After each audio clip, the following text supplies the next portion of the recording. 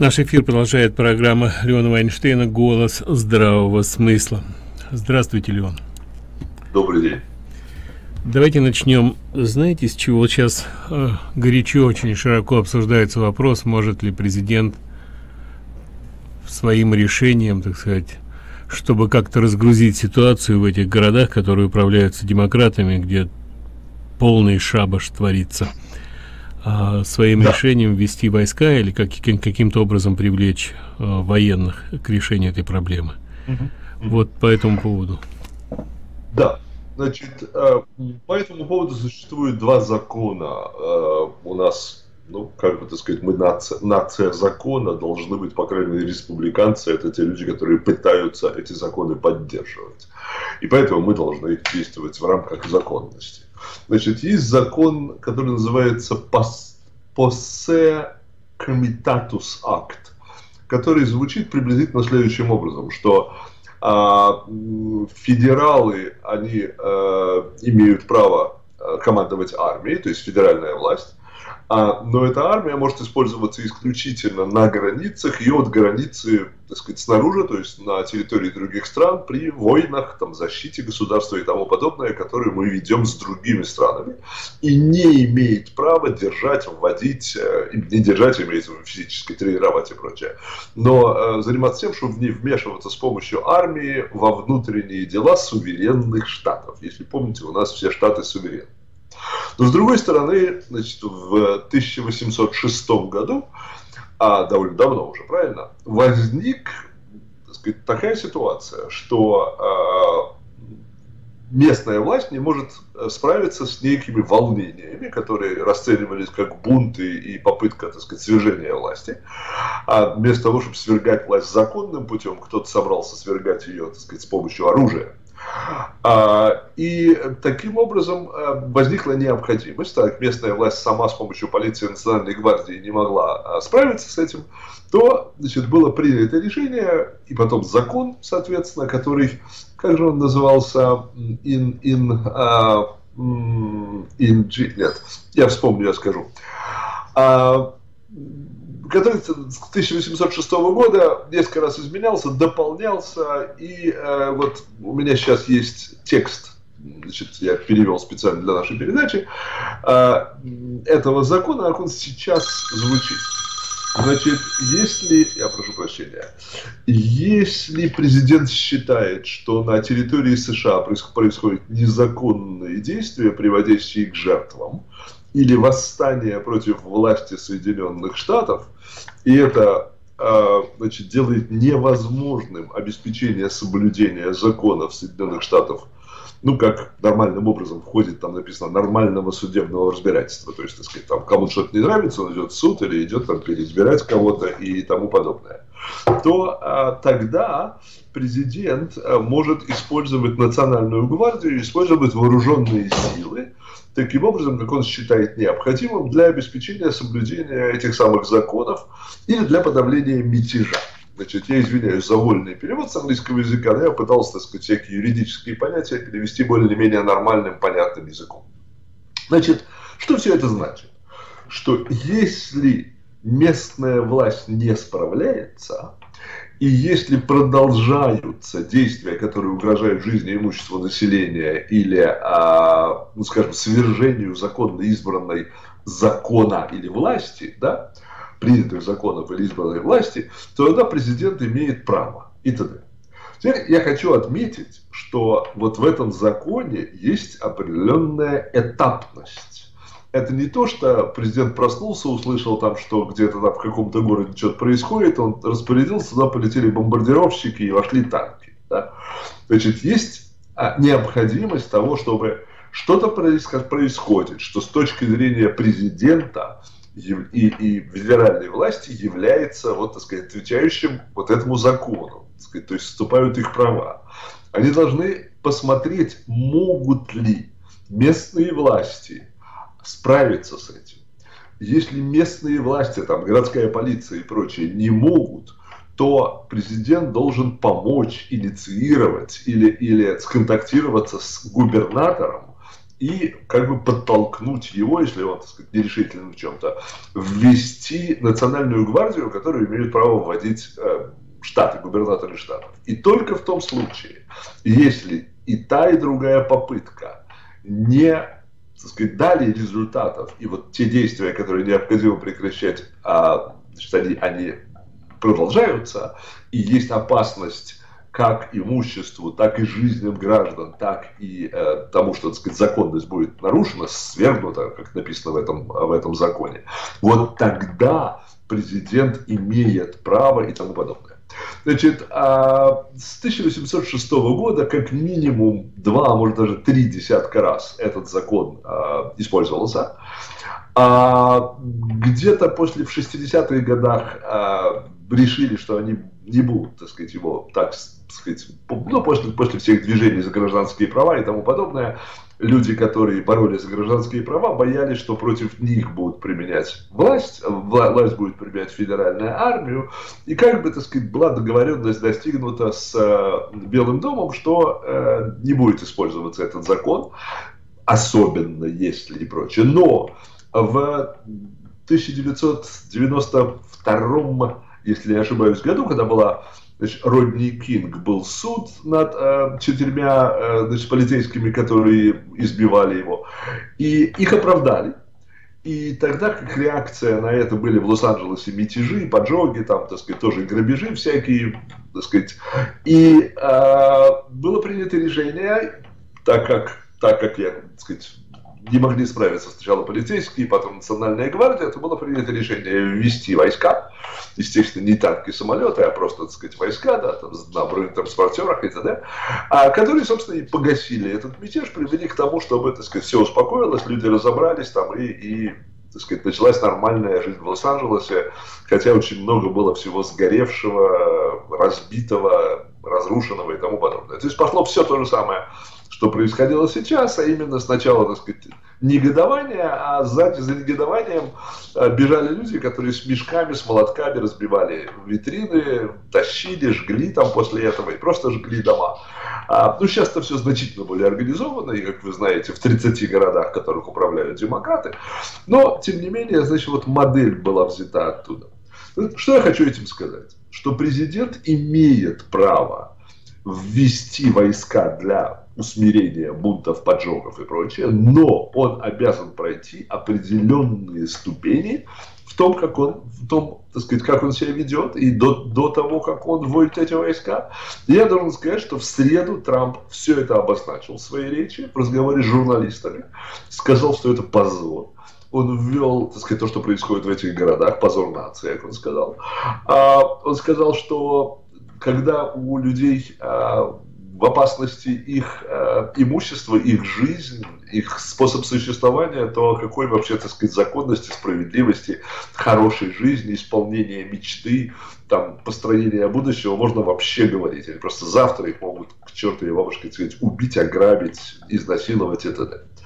А, значит, Трамп сказал, что вот на следующей неделе, сегодня у нас пятница, то есть вот прошло два дня со среды, он сказал, что на следующей неделе он э, разрабатывает сейчас совместно с Министерством юстиции, ФБР и военными те меры, которые будут приниматься.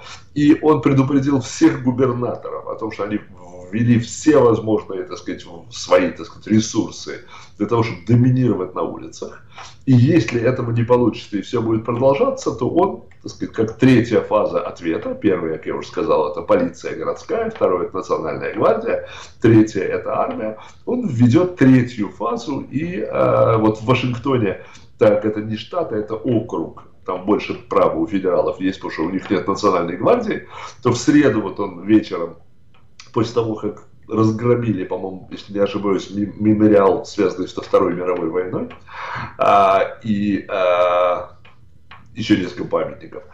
А, значит, он ввел а, комендантский час, не знаю, он продолжается до сих пор или нет, но, по крайней мере, в среду четверг он существовал в Вашингтоне, в округе Колумбия.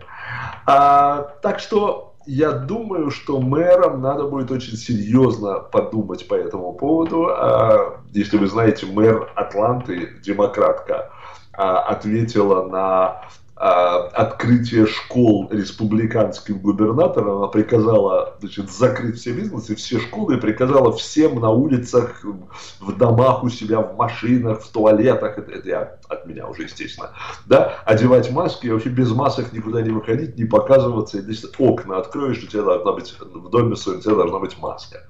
А, то есть творится совершенно фантастические вещи, идет подзуживание, идет чем хуже, тем лучше, пусть будет хуже народу, пусть будет со всех сторон плохо, пусть горят, пусть грабят, пусть дети не ходят в школу, пусть родители бесятся от этого, пусть бизнесы останавливаются, пусть ему будет плохо, плохо, плохо, лишь бы, не дай бог, не переизбрали Трампа. А я просто думаю, что все, что они делают, приведет к прямо к противоположному результату. А как раз Трамп это изберут с огромным преимуществом.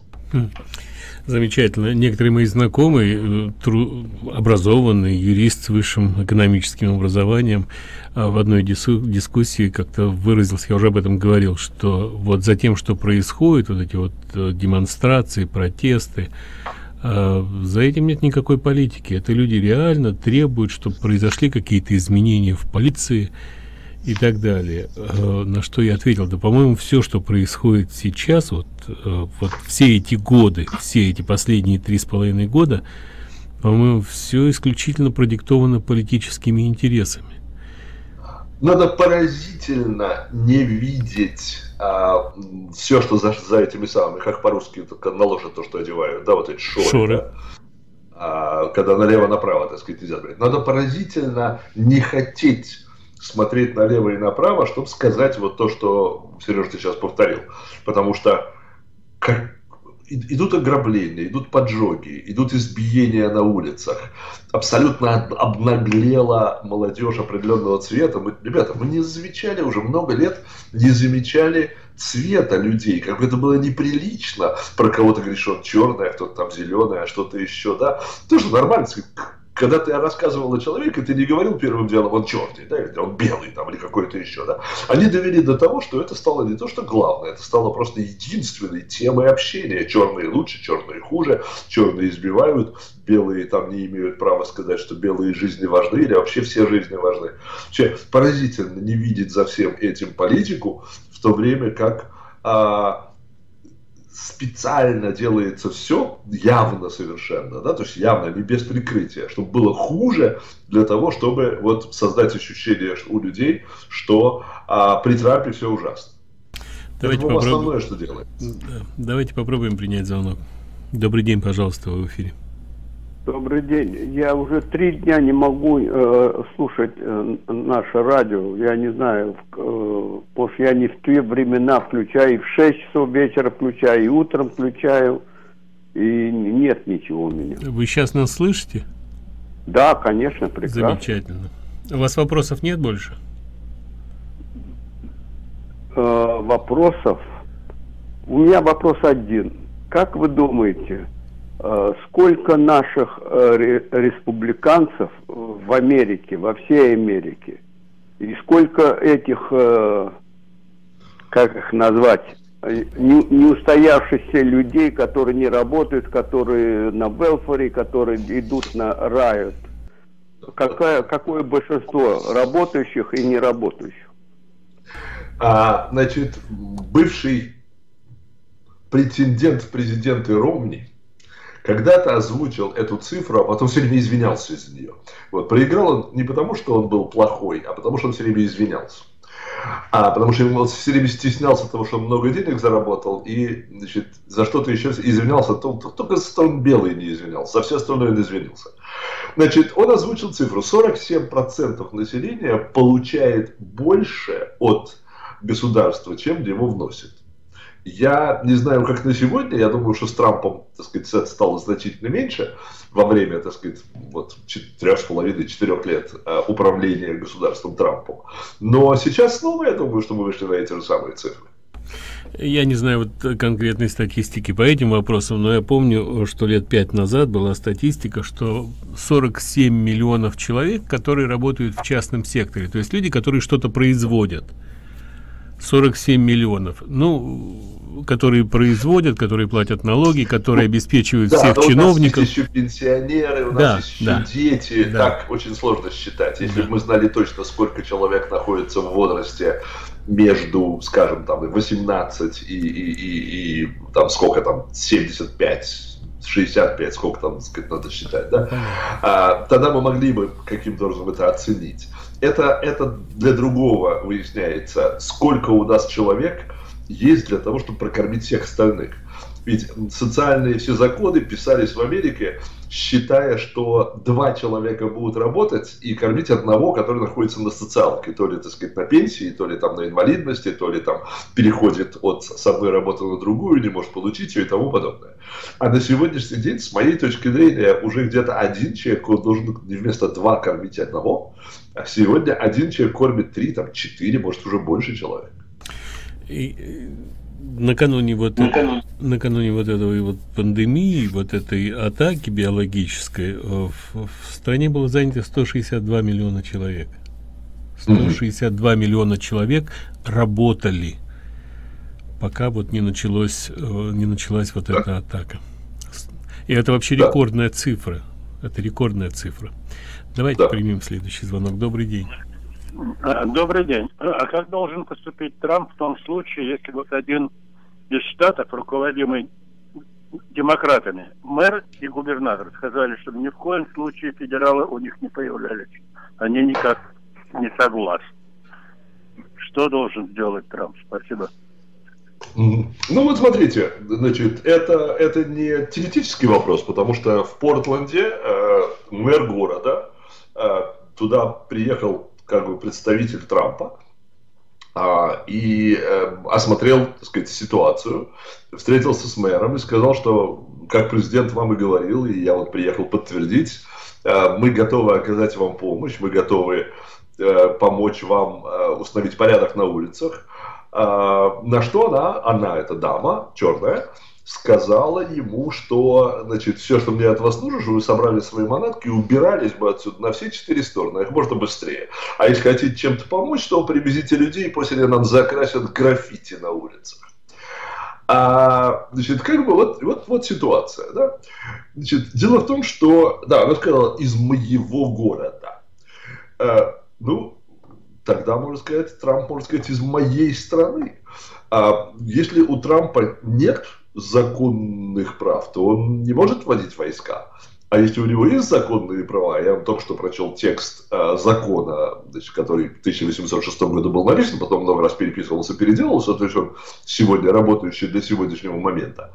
А у Трампа есть полная законность, несмотря на то, что э, мэр может сказать нет, мало ли, может она, может она часть того, что разрушает нашу страну. Значит, мы должны с ней бороться. И следующий звонок. Добрый день, пожалуйста, в эфире. Я получил сообщение на телефон, что завтра, в субботу, с часу до пяти, с, провока... с провокационными целями Black Lives Matter придет на Брайтон-Бич. Именно с провокационными целями. Ну, послушаем информацию завтра, чем это закончится. А вы, а вы по-русски получили эту информацию? На каком языке? Нет, э, она на двух языках, на английском и на русском. Притом там да. есть официальный плакат с их этим кулаком. То есть это э, вполне официальная такая на двух языках. Ну, да, спасибо большое. Спасибо, я понял. Давайте я попробую ответить. А мы не имеем ни малейшего понятия, кто вам по-русски эту информацию сбросил и почему.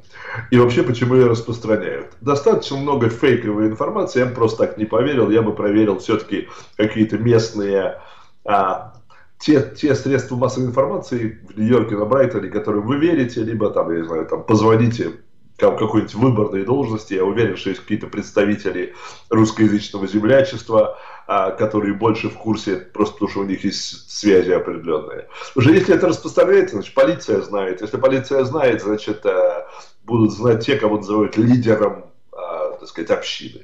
Так что я бы не стал вот просто так верить этому и все. Ну вот, насколько я знаю, в Нью-Йорке, там, в Бруклине, в Милбейсин э, планировали провести акцию в поддержку полиции в воскресенье, но ее отменили как раз э, по причине того, что Black Lives Matter а, намерены прийти и провести, так сказать, контр, такую провокационную контрдемонстрацию во избежание столкновения. А, организаторы этого мероприятия, этого шествия в поддержку полиции решили отменить и перенести на другое время. Вот это очень жаль, потому что это создает прецедент того, что один звонок э, любого человека, который говорит, я, черные жизни важны, я не запрещаю вам вести эту демонстрацию, потому что иначе я приведу своих людей, там, и, и, и мы, вас всех изметелим и дадим вам. Значит, сразу же все это, это как в университетах э, э, перестали приглашать консервативных э, лекторов, э, потому что из-за этого вот те же самые Антифа, там Black Lives Matter и прочее, и прочее, прибегали, устраивали скандалы, били стекла, поджигали машины, поджигали дома, там, кричали и тому подобное. Они сделали 3-4 раза и все, и перестали приглашать. Все, конди кондиции введены. А, больше все перепугались, и нету больше никакой, а, соответственно, свободы у нас. Следующий звонок. Добрый день, пожалуйста, в эфире. Ну, по всей стране происходят грабежи, разбой. И это не просто местные, это уже по всей стране. И поскольку это по всей стране, то это ответственность федеральных властей. Президента, FBI, DOJ, федеральных властей. И федеральные власти знают, кто это организовывает. И организаторы должны быть признаны к ответу и осуждены оплачивать все расходы, все дэмидж, которые э, э устроили грабители, которых они организовали. Значит, это вроде бы должно быть. Почему-то этого нет. И второй вопрос. Э, значит, э, есть существенные доказательства нарушения законов со стороны Байдена, Хиллари Клинтон, команды э, Обамы и нарушители закона свободно продолжают свою деятельность политическую, общественную и не призываются к ответу. Если бы э, три года назад э, Трамп, как, как обещал на последнем, последних дебатах с Хиллари Клинтон, синюю кор, если бы он ее осудил, если бы это ее посадили в тюрьму, то не было бы, э, не было бы э, фрод э, этого документа, не было бы Мюллера, не было бы импичмента и не было бы э, сегодняшних грабежей по, по всей стране. Я слушаю вас. Спасибо большое. А, вы знаете, э, значит, оба вопроса, они одинаковые. Одинаковые вот в чем. Вы говорите, что у вас есть доказательства чего-то, а э, доказательств у вас нет. У вас есть некие, я не к тому, что вы плохой, да, так сказать, да? Доказательств у вас нет, потому что единственное, что у вас есть, это слова дикторов или представителей, скажем, республиканской партии, о том, что вот этот человек вот в этом виноват. У нас так не работает правосудие. У нас правосудие работает другим совершенно образом. Надо пойти в суд, надо доказать. К сожалению, даже мафию, которая, так сказать, взрывала, там, убивала и прочее, не всегда можно было засудить. И самого, так сказать, ну, одного из самых страшных мафионеров, там, Чикагского, а, посадили не за убийство, а посадили на, за а, fraud, то есть обман при налоговый обман. Да? Ничего другого сделать не могли. Так вот точно так, да, а президент у нас, просто чтобы было понятно, он не император, не царь, не тиран, не бог, и он не может э, самолично сажать кого-то в тюрьму или приказать и посадить. Значит, почему это не сделано, я не знаю. А, либо у нас все равно двойное правосудие, оно перестало быть слепым. То есть раньше, так сказать, там все время говорили, что у правосудия завязаны глаза, вот, так сказать, она только слушает и не смотрит, кто перед ней. Сейчас мы точно знаем, кто очень хорошо слушает, кто перед ней. А сейчас мы точно совершенно знаем, что Клинтон и Коми там и прочее совершенно не под тем ходят, а, не под теми законами, а, как мы с вами. Мы знаем, что Конгресс и Сенат не подчиняются тем же законам, которым подчиняемся мы.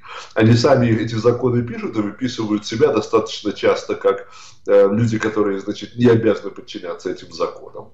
А к сожалению, вот то, что начиналось как замечательная совершенно народная демократия, 230-260 а, лет тому назад, переродилась с помощью чиновников и, и политиков, которые уговаривали нас, что давайте вот это поменяем, и давайте вот это поменяем, это же будет легче и лучше. Нет, мы не хотим легче, мы хотим, чтобы им труднее было и труднее было бы добиваться своих целей. К сожалению, то, что мы живем сейчас, это уже давно не свободный рынок и не свобода в прямом смысле этого слова. Мы живем в полусоциалистическом обществе, где огромное количество вещей происходит так, как удобно и выгодно правящему классу который сложился в Америке и который Трамп пытался разрушить. Кстати, Берни Сандерс тоже пытался это сделать, за это они его точно так же ненавидят дважды уже обманывали, один раз просто украли 5 миллионов голосов из компьютера и переписали их в колодку Хиллари во время выборов и т.д. Я сейчас не за то, что у него там идеи, которые мне нравятся, просто говорю, что вот одновременно возникли два человека, которые пытались, так сказать, разрушить сегодняшний класс. Берни для того, чтобы построить еще худшее общество, а Трамп для того, чтобы очиститься от этой скверной, которую он называл болотом. Так вот, господа, очень сложно, почти невозможно победить бюрократию. Ты никогда не знаешь, кто за тебя, кто против тебя. Они тебе смотрят в глаза, клянутся, ничего не делают или делают прямо противоположные вещи. Либо сообщают в прессу что-то, что тебя будет компрометировать. Отмыться от этого невозможно, потому что ты не можешь открыть все, что ты сказал, а они сообщили часть. Особенно, когда пресса вместе с ними, вот Акоста, что он делал в последнее время? Он берет, что, что говорит президент, ровно половину. Например, президент говорит, я не хочу вводить войска, так, например, да? Значит, что пишет, что делает Акоста? Он в твите пишет, президент только что сказал, хочу вводить войска. Потом, через два часа, он пишет, ой, вкралась ошибка, я забыл славить «я не». Значит, первый его твит разошелся на 2 миллиона человек, второй твит увидело 700 человек. Это я вам точные цифры даю того, что позавчера произошло. Поэтому мы имеем сейчас дело с борьбой и бюрократии, и всеми теми, кто замешан, замазан в этом болоте, да еще и доведенные до коления красного, зеленого, белого, не знаю какого, ненависти конкретному человеку, к Трампу, который им удалось создать. И во всем этом им они считают, что даже если они делают подлости, даже если они обманывают, даже, но цель их выгнать Трампа оправдывает любые средства, включая убийство граждан, ограбление, ухудшение нашей жизни и тому подобное. Вот. С болотом очень сложно бороться. Мы, бороться. Мы не знаем, судьи судят прав, правильно или нет. Мы не знаем, прокуроры дают правильную информацию и правильно ведут дела или нет. Безумно сложно. Вот в Грузии, малюсенькой Грузии, заняло пять лет драконовских мер Саакашвили – драконовской, которые здесь никто бы не смог сделать, потому что там, что называется, закон был не писан, да, чтобы привести в Грузию в нормальное, так сказать, состояние, и, и то потом они сбросили Саакашвили и вернули обратно воров в законе и всю ту кошмар и тягомотину, которая у них происходила до того. Так что, господа, Трамп 2020 обязательно, потому что я еще не уверен, что он справится за следующие 4 года. Но сейчас точно надо, чтобы Конгресс и Сенат и Трамп были республиканскими. А у нас есть звонки, но мы обязаны прерваться, сделать небольшой перерыв, послушать рекламное объявление. Обязательно примем ваши звонки, никуда не уходите, несколько рекламных объявлений и продолжим.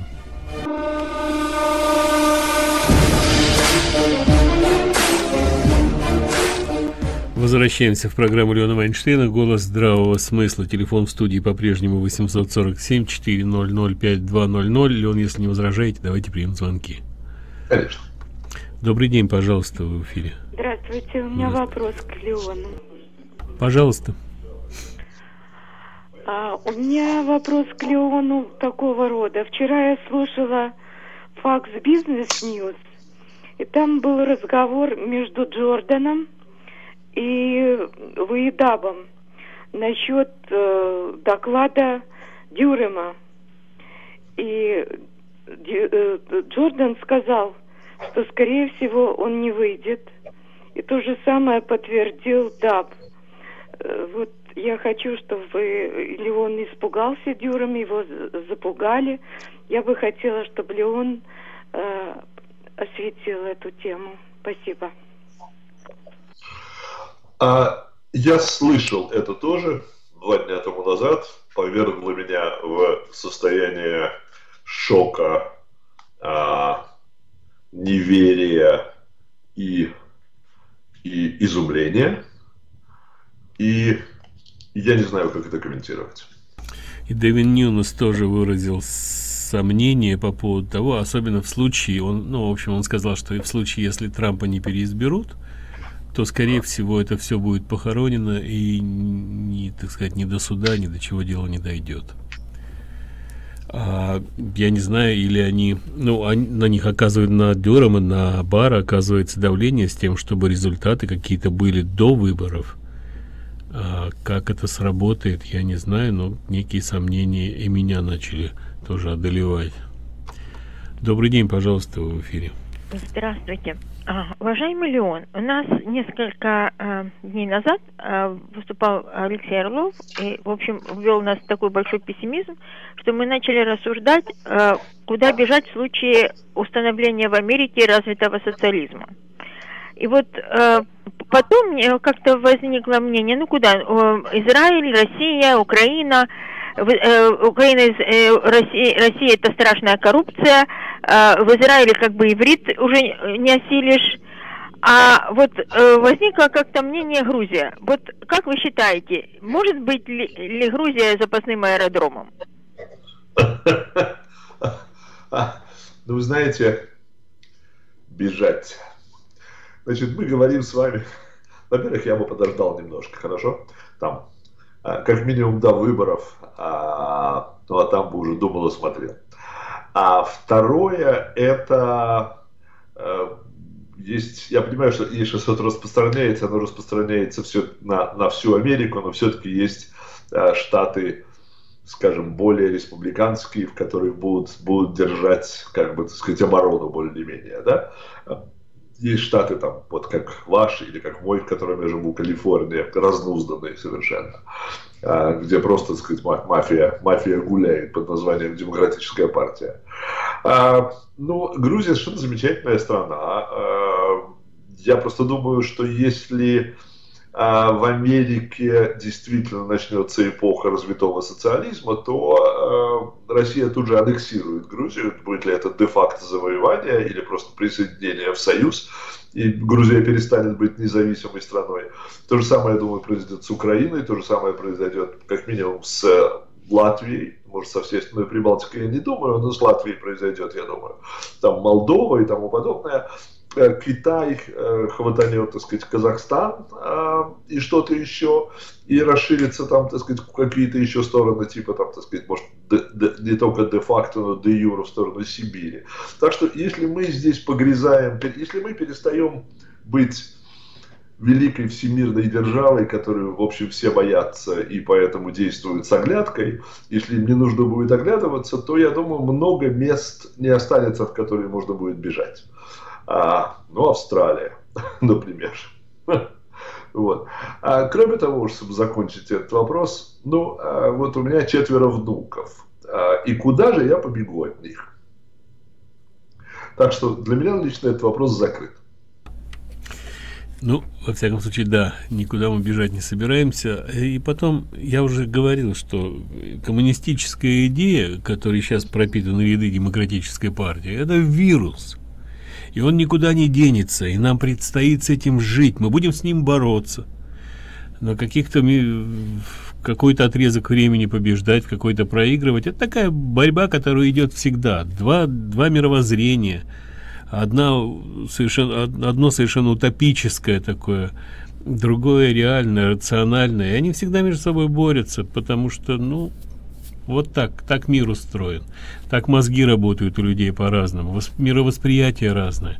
Поэтому бежать никуда не надо, руки опускать не надо, а надо сделать все, чтобы эта страна оставалась вот тем, чем она является для нас и да. для всего мира. Да, да, согласен. И следующий звонок. Добрый день, пожалуйста, в эфире. Алло. Да, пожалуйста. А, у меня вопрос а, такого характера. Э, Трамп как-то заикнулся о том, чтобы куда-то вводить войска. И тут же министр обороны высказался, что он категорически против. И вообще каждый раз, когда касается министра, министра обороны, мне кажется, ой-ой-ой, не тот этот человек. А, ну, а, там, там не совсем так все было, вот как, как потом начали рассказывать. А, Трамп сказал, он идет войска, у министра обороны стали выяснять, есть ли какие-то планы, он сказал, что никаких планов по этому поводу нету, так что это не то, что он там выступил против президента, это пресса пыталась преподнести таким образом, действительно, планов таких не было, а, у президента, я только что прочел этот указ, а, есть право, если министр или там кто угодно в армии скажет, я там не буду, то его тут же уволят и назначат другого человека. Так что, если это незаконно, тогда, э, так сказать, офицеры, если что-то незаконно, то офицеры американской армии обязаны отказаться исполнять приказ. Но так как это законно, то я не думаю, что кто-то кто что-то начнет противодействовать. Добрый день, пожалуйста, ваш вопрос. Алло? Да, добрый день. Добрый день. А, могу задать вопрос? Конечно. А, или сейчас там... Сейчас можно прямо, да? Говорите, вы в эфире. Я... Вот вы сказали сейчас, что нужно сопротивляться. То есть такое вот ощущение, впечатление, что вообще никакого сопротивления нет. То есть вот идет как бы война информационная, и полное поражение, леваки тут захватили все, и никакого нету, э, то есть абсолютно противодействия нет никакого. И вопрос в том, что видите ли вы вот это вот где-то противодействие, можете ли вы о нем сказать? И вам такое вообще-то, вот американцы сидят поникшие, как бы все виноваты рабстве, от рабства, а русскоязычные, совершенно вменяемые, адекватные тексты, хорошие. Читаю я на интернете, слушаю вот и у вас. Но кто-то, вот было письмо от 150 деятелей, э, которые, почему же не, не может, нельзя организовать такое же противодействие, чтобы оно прозвучало? Есть же, наверное, достаточно таких знаменитых значимых. Для этого нужны люди, конечно, с именем. Наверняка есть консервативные. Полно консервативных сайтов. Я смотрел, там штук 20 уже я вижу. Но ничего нет совершенно против. А может быть, русскоязычные должны, такие же ведь американцы, организовать, создать противодействие. Это организовать всех людей. Ведь письмо появилось наверняка 150, что один-два человека это организовал. Почему не создать, написать письмо, так, где указать, что эти сейчас левые грозят пальчиком этим бандитам, и они сами же создали этих бандитов. Ну, то есть вопрос, что совершенно нет трагедии. Кто же это может создать, это противодействие? Окей. Okay. Ну, а, Сережа, это к тебе. Ну, во-первых, э, действительно противодействие есть, есть русскоговорящие, есть американцы, которые выходят. Не так, конечно, как леворадикальное отребье, хорошо профинансированное миллиардерами, устраивает погромы. Нет, это люди, которые добровольно, которых болит душа за то, что происходит в стране выходят на э, митинги, на демонстрации протеста. Это происходит в Нью-Йорке, это было у нас здесь в нашем Баффало Гров. Не такие многочисленные, не такие радикальные, не такие агрессивные, как а, эта молодежь а, обдолбанная, обкуренная, напичканная идеями марксизма. Э, поэтому есть. Что касается выступлений, ну, во-первых, ни для кого не секрет, что средства массовой информации, наверное, на 99% исповедуют идеологию марксизма или левую идеологию, являются отделом пропаганды а, Демократической партии Соединенных Штатов.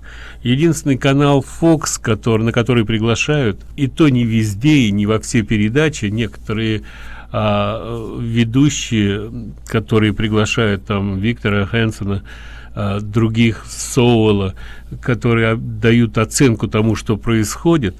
А, ну и, кстати сказать, сам канал становится тоже таким, э, и это объяснимо, потому что теперь каналом владеет этим каналом сын э, Мордека, э, Руперта Мордека, э, младший Мордек, э, который там Байдену на избирательную кампанию, как выяснилось, дали более 100 миллионов долларов. То есть можно, можно понять, а, и настроение этого канала. Есть, остались там как минимум три человека. Это а, Карлсон Такер, это Шон Хеннети, это Лора Ингрэм, которая по-прежнему, так сказать, придерживаются своих взглядов и, не скрывая, них говорят. Все остальное, если вы смотрите этот канал днем, там тоже получается одна и та же пропаганда по поводу ковид, по поводу э, какого-то сумасшедшего роста этой пандемии в канун э, съезда, проведения съездов и так далее. Ну, а если вы хотите поучаствовать, есть какие-то организации э, неправительственные, есть люди, которые пытаются организовать, вы можете поучаствовать, организовать вот такие демонстрации, выступления. Так что вот так. А молодежь, которой нечего делать, причем активисты, которые а, руководят всем этим, а, это хорошо оплачиваемые люди. То есть есть, есть такие а, организаторы, которые получают за эту работу деньги, а иногда и участники этих шабашей получают деньги в зависимости от того, насколько активно, там почасовая оплата есть. Поэтому это выглядит так громко и так, так мерзко. Что касается людей, которые могли бы этому противостоять, это люди, которые в основном работают, так называемое молчаливое большинство. Не, некоторые молчат, потому что боятся. Последнее вообще это удивительная ситуация, когда а, в стране, в свободной стране, маяке свободы, вдруг стало невозможным а, высказывать точку зрения, которая противоречит а, идеям марксизма в открытую. Люди подвергаются гонениям людей выгоняют с работы.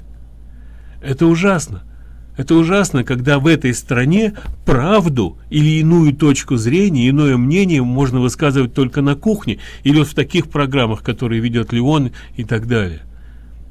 По-моему, дальше уже некуда. Началось все с малого. Началось там э, с, во времена Обамы АРС, налоговая служба, начала гнобить а, консервативные неправительственные организации. Просто натурально гнобить. Следующим шагом было спецслужбы устроили заговор против кандидатов в президенты. Вот расследование, которое сейчас проходит, как раз этому посвящено. Что будет дальше? Людей выгоняют с работы, людям запрещают говорить, а дальше что? Лагеря? Ну, то есть по логике вещей. Как-то так. Да. Конечно, лагеря. Ну, да, любая, любая такая социалистическая идея, такая революция заканчивается кровью или лагерями. Исправительные лагеря, конечно. Перевоспитывать, потому что, ну вот в городах уже там, в муниципалитетах есть инструкции, а, обучение а, избавляться от, от своей белости. Вот новую тему они нашли. То есть они теперь ставку, марксисты теперь ставку делают не на рабочий класс, потому что рабочий класс понял, что их много лет водили за нос, а теперь они ставку делают на а, меньшинства расовые и разжигают этот пожар.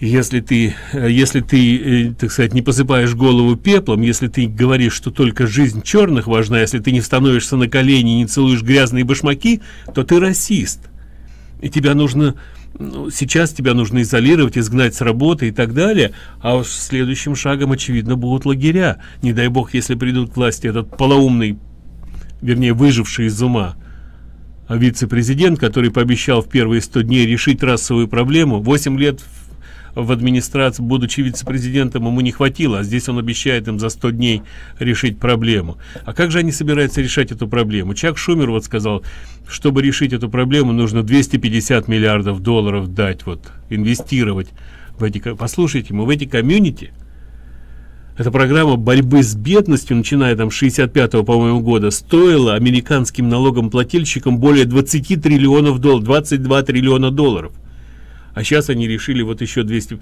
ну 250 миллиардов долларов это как раз в руку к выборам раздербанят выборную кампанию проведут корпорации которые донейшн делают якобы вот в дело борьбы за против расовой дискриминации. Как выясняется, собрали уже почти под 2 миллиарда долларов денег, и значительная часть этих денег пошла на избирательную кампанию демократов. Это, это единственная цель и задача, которую они перед собой поставили, используя, используя любые средства, расовые противоречия, надуманные, ненадуманные, лишь бы изгнать из Белого дома этого президента. Все, что происходит сейчас, причем начиная от пандемии и заканчивая вот этими погромами, этими маршами, это все делается с одной единственной целью – не допустить второго срока президента Трампа. Все, для меня тут никаких дилемм нет, никаких сомнений. Не знаю, может быть, вы думаете по-другому. У нас есть звонки, если не возражаете. Да. Добрый день, пожалуйста, в эфире. А, добрый день, Сергей. Вот э, вы абсолютно правильно сказали в отношении, забегая далеко э, назад, вернее, это началось все с каденции Обамы. Э, началось э, с его слов, когда какой-то преступник, э, нарушитель убили какого-то криминального типа, и он сказал, это мог бы быть мой сын. Все эти мелкие вещи будоражили черное население. Это, это было уже давно. За эти 8 лет мы получили то, что мы получили. Но дело не в этом. Во-первых, Трамп не такой простой простачок, как мы его видим. И я думаю, администрация, его администрация должна выиграть эти выборы. И у него, собственно, последний срок, терять ему нечего. И я думаю, он серьезно, серьезно займется всей этой бандой и этим болотом, который он сразу, когда пришел в своей каденции, сказал, что это болото нужно разогнать. Ну, не получилось. Но я думаю, он все-таки доведет дело до конца. Это мое мнение. Спасибо. Спасибо. И еще один звонок постараемся принять, если коротко, пожалуйста, в эфире. А коротко я хотела сказать, что вот это вот все подготавливалось годами.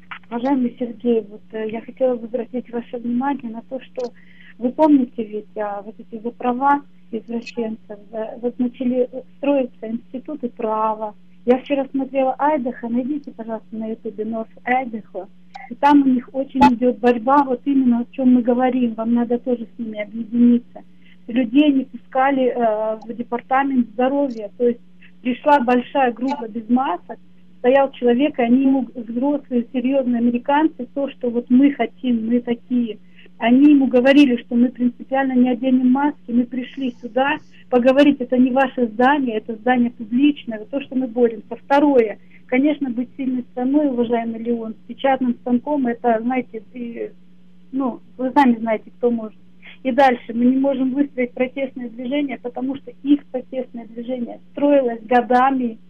Они вот это все, они высматривали, высчитывали, какая, какая человеческая масса может их поддержать. Они, они устраивали вот эти вот фудстемпы, то есть здоровые люди приходили, я 12 лет здесь живу, на моих глазах здоровые люди приходили за помощью, и им абсолютно не предлагая работы, они сидели годами, не работая. Дальше, третье. Сегодня я с БЛМ разговаривала с крутым человеком. Видно, что у него бриллиантовые, здоровые, такие культурные цепи, от него хорошо пахнет. И он задал вопрос мне первый. Вы из Украины, у вас акцент? Ну, в магазине.